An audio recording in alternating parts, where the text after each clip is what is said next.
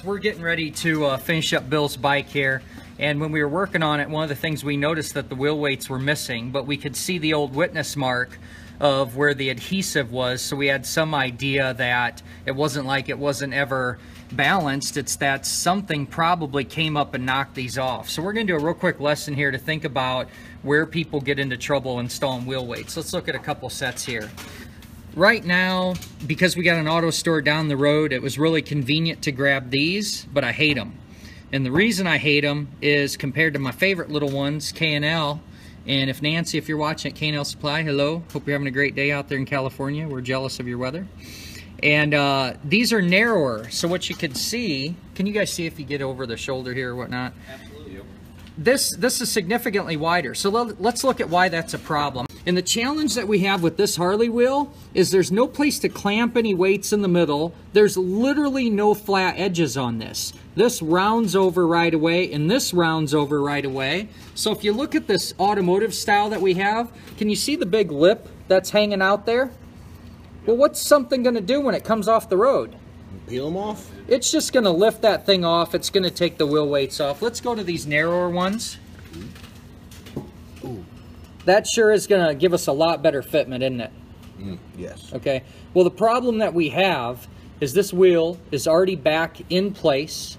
It's on, and we want to use a realistic approach here of the real world to say, hey, these aren't available. I've, I've ran into times where you just plain ran out of these. You know, shop wasn't paying attention, and you got to move forward on there. I can't make the customer wait to get wheel weights in, so it's it's common we run to our auto parts store. But everybody agree that that fits a lot better, though.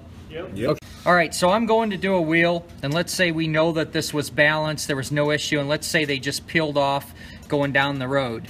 From the old witness mark of the adhesive, and just use some tire chalk to give us an idea where we were. Now I can go ahead and take that off. What I need to do is I need to clean this adhesive off spotless. Notice I didn't spray the wheel, notice I sprayed a rag. Why did you spray the rag, not the wheel, Shane?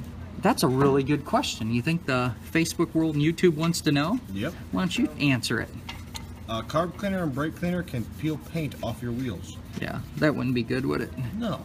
Here's one of the big problems is people don't get that old adhesive off and then you're going to end up having it to where it really doesn't want to stick. Can you see where we're going to be pulling off a piece of double-sided tape?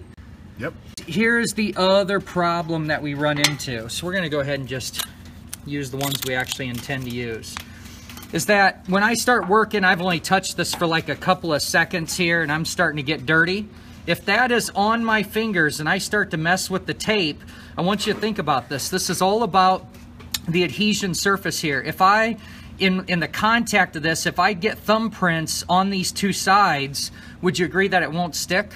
Yep. Well, if that lifts, so let's say this is the part that doesn't have that good contact and it starts to lift, that's just going to end up allowing the whole thing to peel off. So is it a problem?